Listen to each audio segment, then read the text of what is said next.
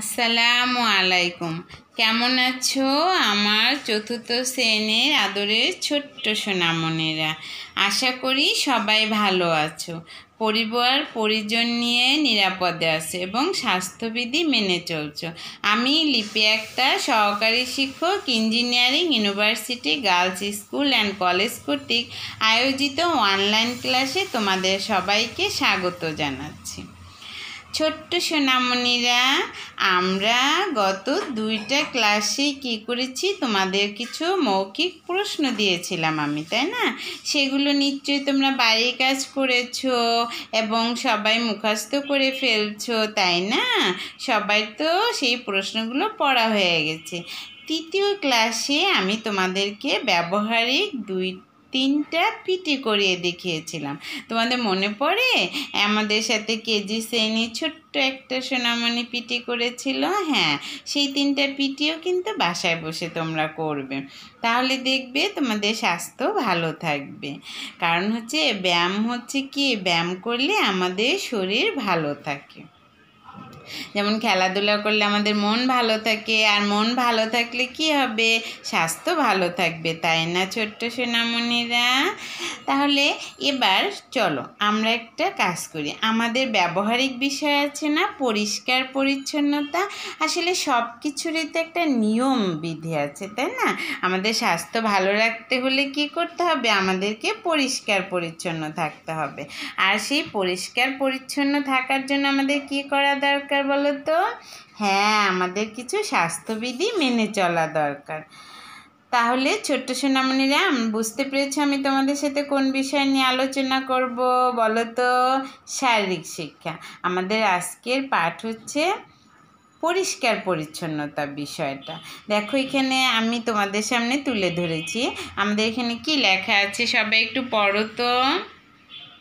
এখানে লেখা আছে কি দেখো? স্বাস্থ্য রক্ষায় যেসব বিধি মেনে চলতে হয়, তা আলোচনা করা হলো। লক্ষ্মী সোনামণিরা তোমাদেরকে আমি বলে রাখি, তোমরা কিন্তু এইগুলো লিখতে হবে না হ্যাঁ? সবাই কি করবে? মোবাইল কাছেও রাখতে হবে না। মোবাইলটা একটু দূরে রেখে দেবে। আর সবাই আমার কথাগুলো একটু মনোযোগ সহকারে আজকে শুনবে। ঠিক আছে? বুঝতে পেরেছ? বেশি মোবাইল ধরবে না, বেশি গেম খেলবে না। আর এই যে আমাদের যে টিচাররা ক্লাসগুলো নিচ্ছে, সেই ক্লাসগুলো জাস্ট একটু করবে, লিখবে মোবাইল থেকে, তুলে রাখবে, তারপর নিজেরা নিজেরা মুখস্থ করে ফেলবে।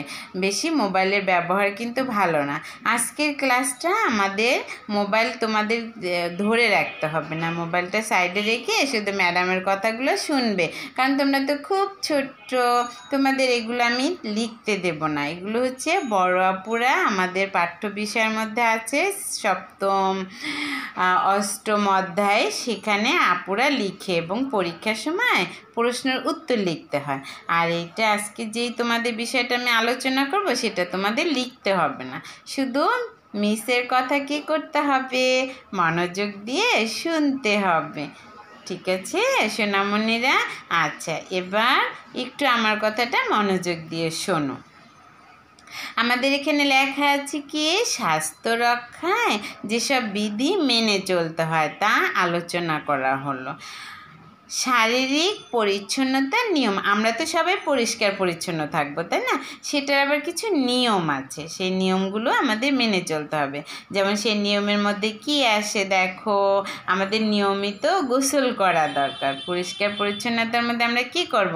নিয়মিত গোসল করব। তোমরা প্রতিদিন গোসল করো না? হ্যাঁ সবাই প্রতিদিন গোসল করবে, ঠিক আছে? কারণ তোমরা যে খেলাধুলা করো, তোমরা যে বাইরে ঘোরাঘুরি করো, আমাদের চারপাশে কিন্তু বাতাস। আর বাতাসে কিন্তু কি হয়? ময়লা ঘুরে বেড়ায়। তাহলে আমরা কি করব? নিয়মিত গোসল করব। আর হচ্ছে গোসল করলেই আমাদের শরীরে রোগ জীবাণু কী হবে চলে যাবে। ঘামের মাধ্যমে আমাদের শরীরে কিন্তু রোগ জীবাণু ছড়াতে পারে। এই জন্য আমরা গোসল করলে আমরা পরিষ্কার পরিচ্ছন্ন হয়ে যাবে আমাদের শরীরটা। তারপর আমাদের কি করতে হবে বলো তো? দাঁত ও মুখ পরিষ্কার রাখতে হবে।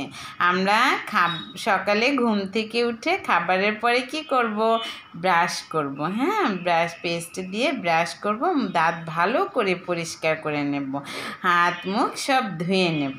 বুঝতে পেরেছ? আবার রাতের বেলা ঘুমেতে যাবার আগে আমরা কি করব? দাঁত ব্রাশ করব। তা, মুখ পরিষ্কার রাখব। তারপর হচ্ছে আমরা কি করব? চুলের যত্ন নেব। চুলের যত্ন নেব কীভাবে? আমরা প্রতিদিন সপ্তাহে চুল করব কি? শ্যাম্পু করব অথবা সাবান অথবা শ্যাম্পু দিয়ে আমরা চুল প্রতিদিন ধুয়ে রাখব। তারপর আমরা কি করব? নখ কেটে রাখব। আমাদের নখ একটু বড় হয়ে গেলেই আমরা কিন্তু নখটা কেটে ফেলব, কারণ নখের ভিতর বিভিন্ন ধরনের ময়লা আবর্জনা থাকে, তাই না? আর সেগুলো খাবারের সাথে আমাদের পেটে গিয়ে, আমাদের পেটে জীবাণু যাবে, তখন আমাদের পেট কি পেটের অসুখ করবে? আর চুলের যত্ন কিন্তু নিতে হবে, তোমরা মাঝে মাঝে চুল আশ্রাবে আম্মুর জন্য কিন্তু অপেক্ষা করবে না। এখন ক্লাস ফোরে পড়ো, তোমরা এখন বড় হয়েছো, নিজের চুলের যত্নটা নিজে করার চেষ্টা করবে। তারপর হচ্ছে আমরা হাত পরিষ্কার করব, এই যে আমাদের দেখো, আমাদের সারা পৃথিবী এখন স্তব্ধ হয়ে গেছে করোনা ভাইরাসের কারণে। আর করোনা ভাইরাসের কি বলে, সচেতন হতে বলে। এখানে বড় বিষয়টা হচ্ছে সচেতন থাকতে হবে। আর সেখানে কি বারবার দেখো না টিভিতে অ্যাড দেয়, হাত পরিষ্কার করা মাস্ক পরা বাইরে বের হলে। তাহলে হাত কি করে আমরা বিভিন্ন জিনিসপত্র নাড়াচাড়া করি হাত দিয়ে, তাহলে আমাদের হাতেই পরিষ্কার রাখতে হবে, হাত বারবার ধুয়ে রাখতে হবে। দেখেছ? আমাদের কিন্তু পরিষ্কার পরিচ্ছন্নতার মধ্যে এই বিষয়গুলো আছে। আবার এইগুলোই আমাদেরকে বারবার করে সতর্ক করা হয় বিভিন্ন অ্যাডের মাধ্যমে।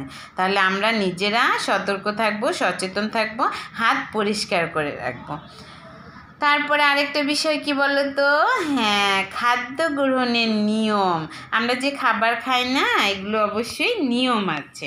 খাদ্য গ্রহণে কি করতে হবে? খাবার আম্মুকে আম্মু সব জানে। তারপরও তোমরা তো ছোটো, তোমরা আম্মুকে একটু মনে করিয়ে দেবে। কি করবে বলো তো? খাবার ভালো করে বাইরের থেকে যখন আব্বু বাজার করে এনে দেবে, খাদ্যটাকে আম্মুকে বলবে, আম্মু, ধুয়ে নাও। তারপরে খাদ্যটা, সেটাকে রান্না করতে হবে। আর সেই খাবারটাকে তুমি তোমরা কিন্তু ফ্রিজের খাবার খাবে না। ফ্রিজ থেকে বের হওয়ার সাথে সাথেই যে খাবারটা বের করা হবে সেটা তোমরা খাবে না। আর হচ্ছে ভালো ভালো খাবার খেতে হবে শাক সবজি খেতে হবে, সব খাবারের খাওয়ার অভ্যাস করতে হবে। একদম গরম খাবারও খাবে না, আবার একদম ঠান্ডা খাবারও খাবে না। বুঝতে পেরেছ?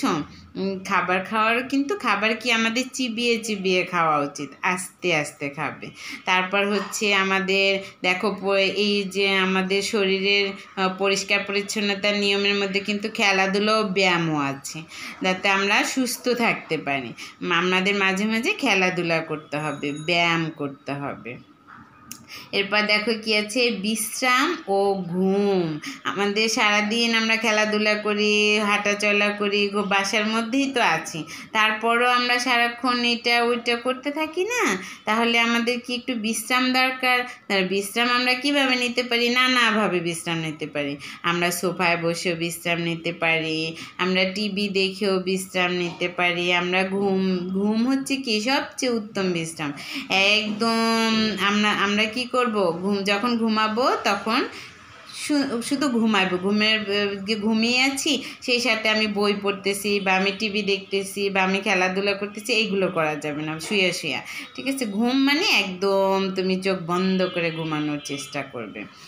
তারপর হচ্ছে অভ্যাস। দেখো, মানুষ কি? অভ্যাসের দাস। আমরা যে যেই অভ্যাস করব, সারা জীবন কিন্তু সেই অভ্যাসেই থেকে যাবে। ছোটবেলা থেকে তোমরা যা করবে, বড় হলে কিন্তু তাই করবে। তুমি যদি ছোটবেলা থেকে খুব ভালো অভ্যাস নিজে তৈরি করে নাও নিজের জীবনে, তাহলে তুমি বড় হলেও সেই অভ্যাস থাকবে। যেখানে সেখানে থুতু ফেলব না। তারপর হচ্ছে আমরা কি খুব সকালে ঘুম থেকে উঠবো। খুব ভোরে সূর্য ওঠার সাথে সাথে আমরা ঘুম থেকে উঠবো।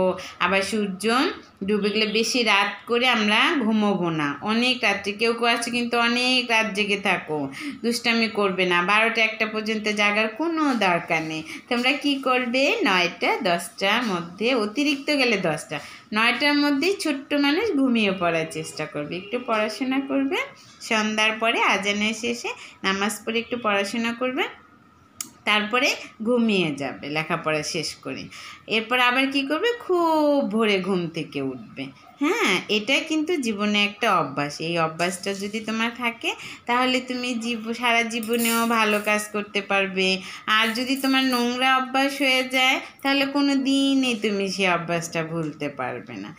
তারপরে দেখো, পরিষ্কার পোশাক পরিচ্ছেদ থাকতে হবে। এই পরিষ্কার পরিচ্ছন্নতার মধ্যে কি আছে? আমাদের পোশাকটাকে পোশাক পরিচ্ছেদ রাখতে হবে। এখন তুমি তো ছোট্ট মানুষ, তোমরা তোমরা তো আর কি করতে পারবে না? পোশাক নিজেরা নিজেদেরটা ধুতে পারবে না। কিন্তু আমার মনে হয় তোমরা ইচ্ছে করলে কষ্ট করে একটু ধোয়ার অভ্যাস করতে পারো, তাই না? একটু বড় হয়েছে। আর আম্মুকে দিয়ে আর কতদিন কষ্ট করাবো? কিন্তু যেটাই করো, বাসায় কাজের বউ আছে যাদের, তাদের, তারাও ধুয়ে দেয় অনেকের পোশাক, আমি জানি, আম্মুও ধুয়ে দেয়, আব্বুও অনেকের ড্রেস ধুয়ে দেয়। তাহলে যেটাই হোক, কিন্তু তুমি একটা জিনিস মনে রাখবে, তোমরা কিন্তু কেউ নোংরা পোশাক পরবে না। যেই পোশাকটা আজকে পরেছো, সেটা অবশ্যই তোমার ধুয়ে নিতে হবে। আগামীকালকে সেই পোশাকটা তুমি পরবে না, ঠিক আছে? এটা তোমরা সবসময় মনে রাখবে। তাহলে ছোট্ট সোনামণিরা, আজকে আমরা কি আলোচনা করলাম? পরিষ্কার পরিচ্ছন্নতা। এগুলো একটা ধাপ আছে না? সবগুলো বিষয়ে মনোযোগ দিয়ে তোমরা নিশ্চয়ই শুনেছ, আর সেই অনুযায়ী তোমরা কাজ করবে। তোমরা সবাই ভালো থেকো এবং মনোযোগ সহকারে সবাই পড়াশোনা করবে। দেখো, তোমাদের আমাদের স্কুল থেকে যে যে অনলাইন ক্লাসের আয়োজন করা হয়েছে, সব টিচাররা তোমাদের জন্যই, তোমাদের পড়াশোনায় যাতে ব্যাঘাত না ঘটে, সেই জন্যই কিন্তু সবাই যে আমাদের স্কুল কর্তৃপক্ষ ক্লাসের আয়োজন করেছে অনলাইনে তোমাদের সাথে আমাদের দেখা হচ্ছে না, কিন্তু কথা তো হচ্ছে, তাই না? আমার, তোমরা আমাদের অনেক মিস করো। আমরাও তোমাদের অনেক মিস করি। আমি খুব মিস করি তোমাদেরকে, জানো? তোমাদের কথা খুব মনে পড়ে। আমার যে খুব ইচ্ছে হয় আমি স্কুলে যাই। তোমরা সবাই স্কুলে আসো। সবাই আমরা আগের মতো হইচই করি, আমরা আনন্দ করি, খেলাধুলা করি, আবার আমরা শ্রেণির কাজগুলো করি। কিন্তু আমরা তো একদিন এরকম করতে পারব। আল্লাহ ভরসা, তাই না? আল্লাহ আছে ইনশাল্লাহ আবার সবার সাথে আমাদের দেখা হবে। তো তোমরা সবাই বাসায় আছো, ভালো থেকো, সুস্থ থেকো। বাইরে বের হবে না, যদি বের হও অবশ্যই মাস্ক পরবে। আবার বাইরে থেকে এসে কী করবে? নিজের জামা কাপড় সুন্দর করে ধুয়ে নেবে। সবাইকে আবার অনেক অনেক ধন্যবাদ জানিয়ে আজকের মতে বিদায়। আগামী ক্লাসে আবার ব্যবহারিক ক্লাস নিয়ে তোমাদের সাথে দেখা হবে। আল্লাহ হাফেজ।